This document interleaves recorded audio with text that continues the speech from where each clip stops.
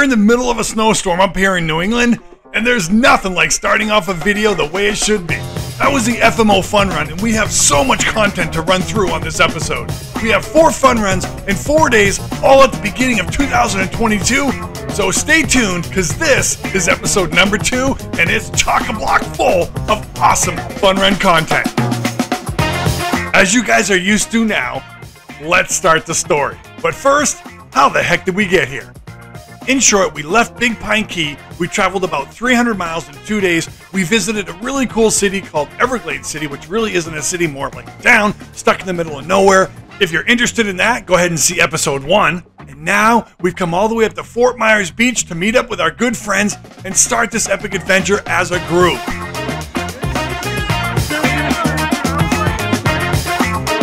All right, so what are we doing here? What do we got? Beach bar here in Fort Myers Beach. We wine and dine. Kelsey, you up with that? Oh, I'm so happy I have my girl with me. See you right there. How did the how did the white one how did the white one come out? These fun runs are about fast boats. But at the end of the day, it's mostly about friendship. And here's what I mean by that. Sarah and I really didn't have a place to stay that night originally. There was just everything was super booked up, and we didn't have any dockage. But before you know it, word got out, and Sarah and I ended up staying in one of the coolest pads in Cape Coral with some of the coolest people you'll ever meet. And I ended up finding out exactly how I want my dream bathroom. Oh, it's right. Uh, Put the phone down. Let's be good guests. Stop. Oh my god. Um, did you see those shades come down as we came in? No. That's budget ones. I love. Oh my god!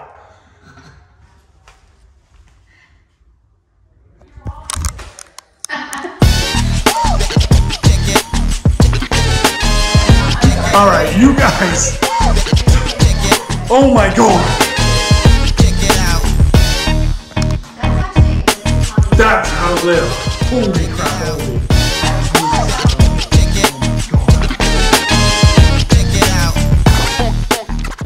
And before you know it, it's time for an early rise because we have to go from Cape Coral all the way up to Sarasota. The fun run starts at 11, so we got to get moving. Now, every captain has their thing, and for me, it's always weight. I just can't stand dragging a bunch of weight around when you don't have to. So when I saw that Kelsey brought a curling iron, hmm, I felt like she deserved a little bit of, well, recognition. What is that? What? What is that? I don't even know what that is. Why are we taking that? I know it was cooling down still. What?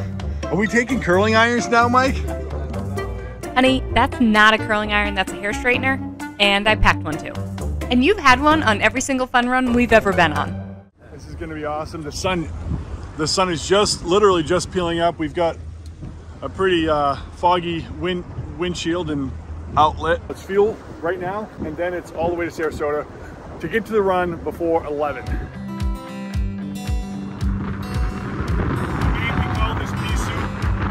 After hooking up with our friends and making our group even bigger, we then head to Sarasota. You can go either inside or outside, or kind of do a combination of the two, depending on weather. Why not just jump out both And even though we do love organized fun runs, there's nothing like just being in a pack of go fast boats with one destination, the sun is rising, the morning is fresh, and the day is ready to be conquered.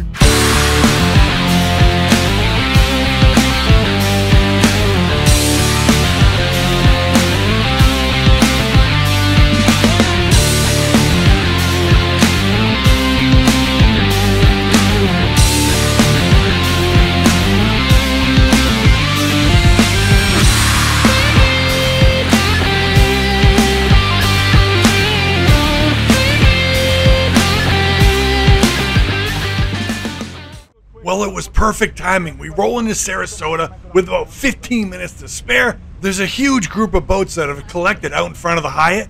And what's really interesting to me is that after two days of boating and 400 miles under our belt, we are finally ready to start the first fun run of this whole four fun run adventure. 390. This this 390 literally. How many hours on that 390?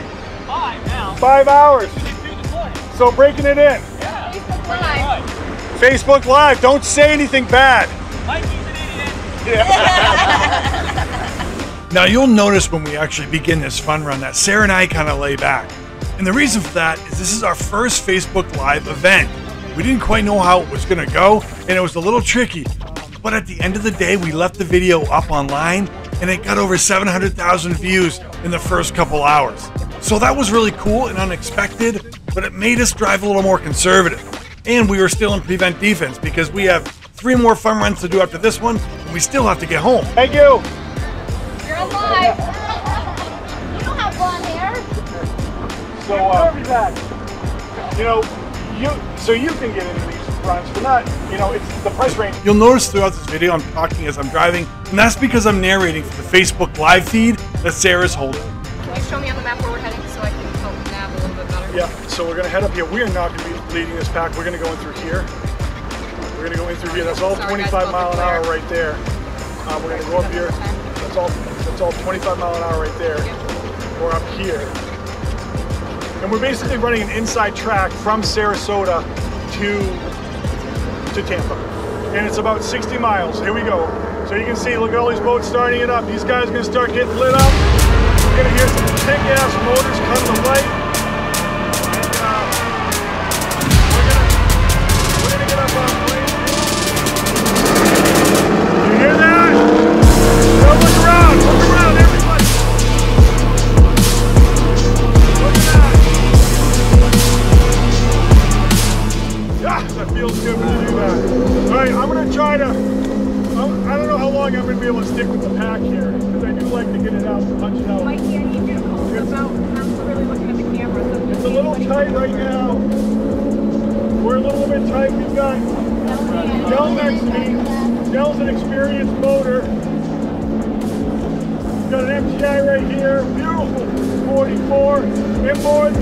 Right, that was the start of the Munyan run. Now, I'm not going to show every single second of every run. It's just, it's just, it's just no sense in it. It gets really boring. So what I'm going to do is just show the highlights. It might be the, the beginning of the run. It might be the end. It might be the middle. Who knows? But I'll just show you guys the highlights so we can keep this film tight and with tons of content. So we've done quite a few fun runs, and I can honestly say that we have never hit a fog wall like the one we did on the Munyan. Now, this ended up being kind of a reoccurring thing through the whole week. Every single fun run up there ended up having fog. It certainly did add a layer of complexity, and well, at these speeds, pucker factor. A lot of coming from starboard heading into channel, the channel. So that was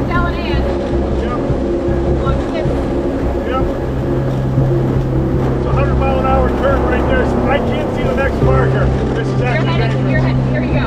Okay, I gotta see the next Crab marker. pot. Crab pot. Uh, this is the first run run we've ever done Yeah, in a me fog too. bank. So this is uh, interesting. I'm gonna zoom in, zoom in. All right, wait, wait, wait. hold on. So you cannot hit a buoy. You can break a pop, a prop or a coconut. A coconut, I call it the golden coconut. And eventually, the fog just gets too thick, and we all slow down to a nice, comfortable speed where you can see in front of your boat a nice, safe distance.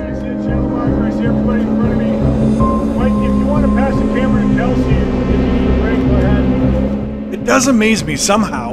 We never lost my phone. I hope there's not another fun run coming back at us.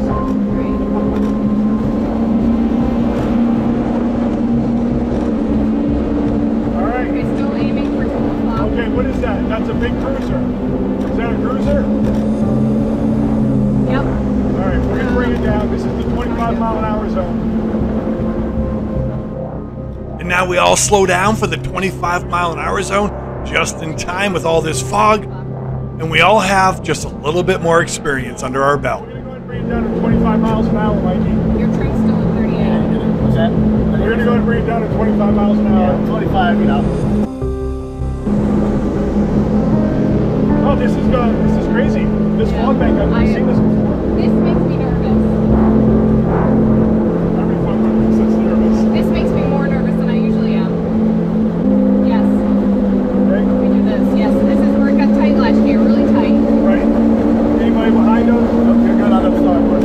Okay. We got this tugboat here. Can I go? Wh- You Which got- is you got which is this my guy safe and side? a tugboat. Which is my safe side? Um, probably this way because you have land on this I'm one. following the dug right.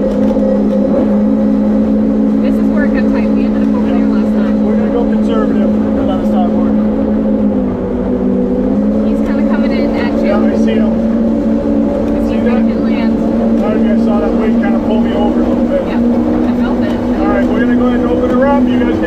450 C. It's channel markers. You it's important to say in your channel markers. right Yep. there. All right. Red on starboard, green on port. Correct. Or for the colorblind. You know, I did want to mention this. Some of you seasoned captains and boaters might be like, what the heck? Red right return. Everyone knows that. It's standard. And while it is standard, what's not standard is knowing if you're coming into port or leaving port, especially when you have a string of islands or or long inland rivers with exits to the ocean on either end. So for safety, I always like to ask my co-captain, my navigator, my wife, am I on the right side of things? All right, so here we're going through a drawbridge. I'm not sure why he's raising the Oh, we got drawbridge from for us. Barbados. Wow. Hi, Barbados. Hi, Barbados. Kelsey, you are a natural at that. Mikey, can you break your boat every fun run for us? I actually secretly did it so we could come on. After some bridges and some slow zones, we're about halfway there, and we finally get to open it up into Tampa Bay. And we get some good numbers, but you gotta watch out for some of those cruiser wakes. And we're about to find out why.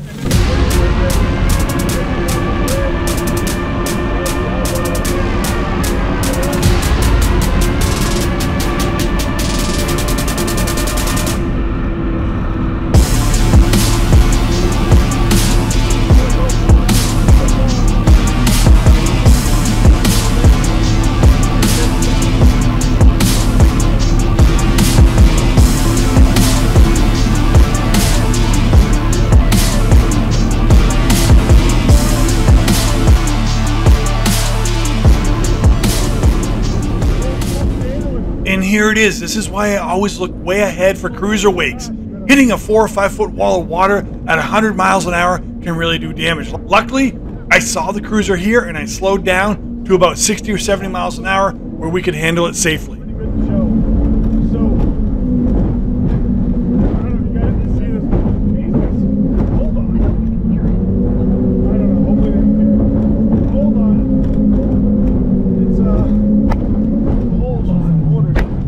If you rewind that, you'll see that that's about two seconds in the air, which isn't a big deal at 70.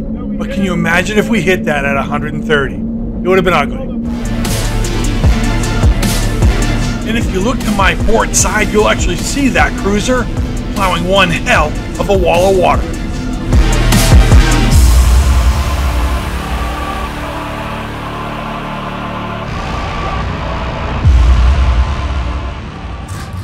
And just like that, it was like magic. The sun appeared, the boats were rafted, and we were there to have a fantastic lunch.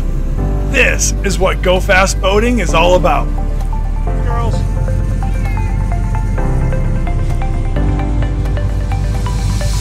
Love you.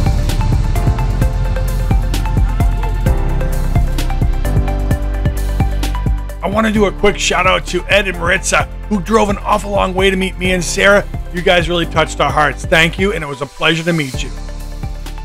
After a decent lunch at the Hula Club, it was time to head back. We had been running hard all day since 6 in the morning. We had put on hundreds of miles, and for that night, it was time to just lick our wounds, go to bed early, and recharge for the next day, which was legendary aerial photographer Pete Boden's Longboat Key Fun Run.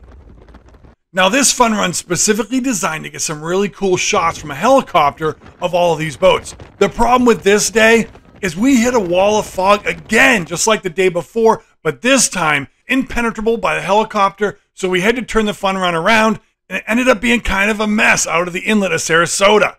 And this is how it went down. Small boat. That's the end. The boat's on your starboard, but they're a ways out. I'm gonna have to cut in. And I'm gonna cut back to starboard side. Okay, I got land to my port side though. You're good. Just don't watch. All right, I'm gonna go ahead and dust off the center. there.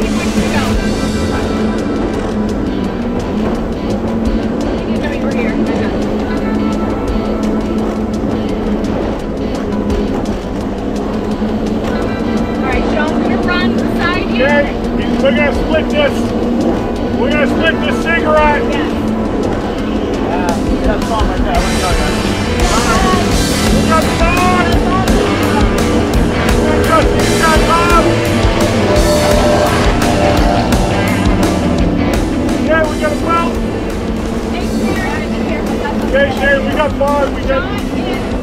gonna split that. Yeah. John's gonna get skinny. Hold up the head stationary. Fog. Something right here. We're gonna slow down. Shit. I gotta turn. I gotta turn. John, John, uh, slow it down too. Man, it's nice on the inside. What the heck is this? This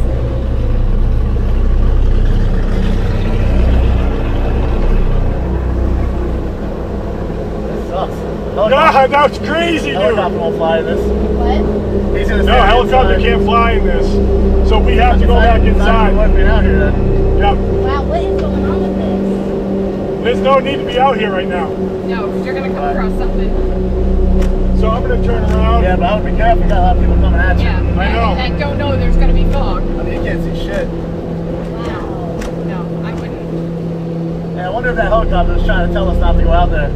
He was on the was. inside. He can't run that. Yeah, I agree. No turning around for a while. Are we gonna hit the sandbar? What do we want to do?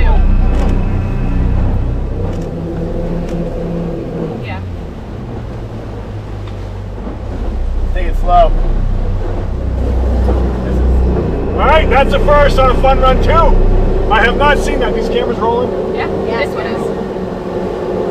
So I have not seen that on fun run ever in my life either.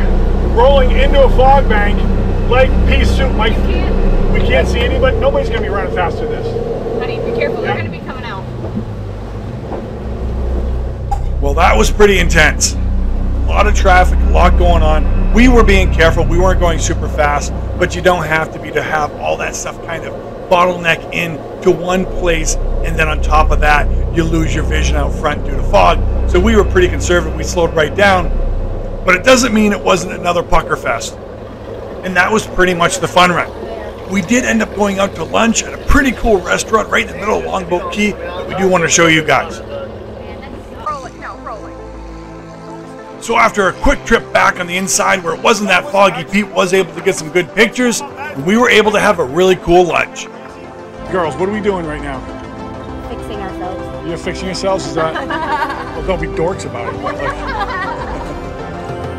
So after a great lunch at the Longboat Key restaurant that I'm not going to bore you with, it was back on the road, or I guess back on the water, because it was New Year's Eve. We're in Sarasota, and we finally get to find out where Gizmo came from.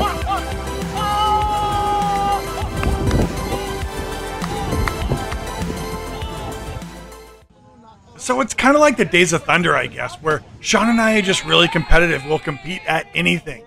And for me, I don't have the finesse. I just have the bulk. I was a football player. So it all started with a bet the second I saw that hammer. And the bet was whoever comes home with the biggest stuffed animal wins. And the other must wear that stuffed animal on the bow of their boat for the next fun run.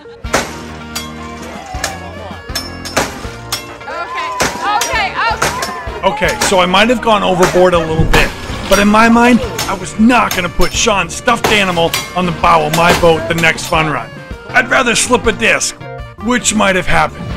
But after a very competitive night, David did not slay the giant. Kels, you must feel proud of your man. Well, sorry, my doggy's in the way. So that meant Sean had to put my stuffed animal on the bow of his boat for the next fun run. But here's where things unexpectedly flipped upside down. Gizmo was cool as hell, and everybody wanted him on their boat. So for the next three days, it ended up being one hell of a custody battle, and the chaos ensued. You lost. Go ahead. Look at you guys! 2001, the first year of my entire life I've ever, ever walked Good way to bring in the new year. Winners. He's cool. So honestly, this, just gonna be honest. So Sean's been working all night at the carnival, which is over there. It's not about size, it's about how you use it. Okay? It's not about size. Can you do a Chewbacca call? Huh? Oh, like, oh, What does he do? yeah, so- So anyway, Okay, wait, is there is there a gremlin call?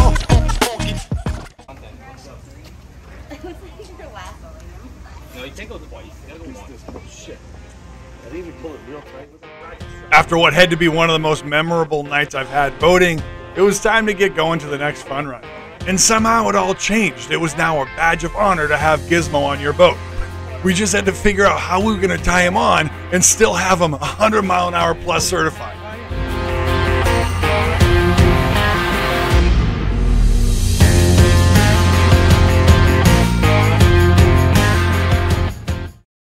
Look at that, you guys. We're 22 minutes in.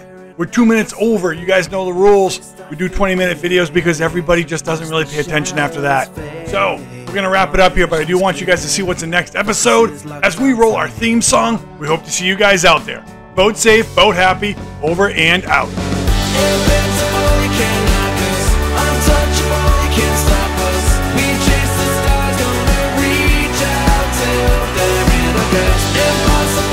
You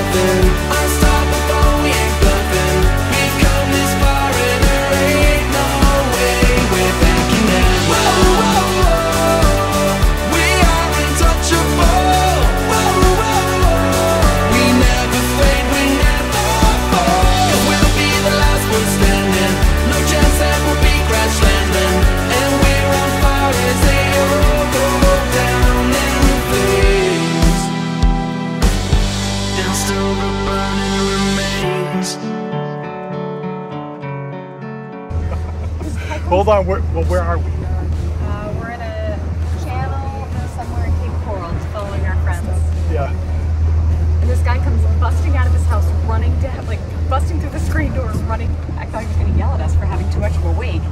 And he's like, "How to live? I'll buy the gas if you give me a ride. I'll be right here." It is awesome. I mean, all the crap that we go through about just kind of putting it all together. It's moments like that that make it worth it. That was cool. And finally, we'd like to thank our fans. You guys are the best on earth. We truly mean that. You guys make all this hard work worth every single second. Make sure you look out for episode three when you learn how an 80 year old tortoise lost us Gizmo. Gonna move these mountains.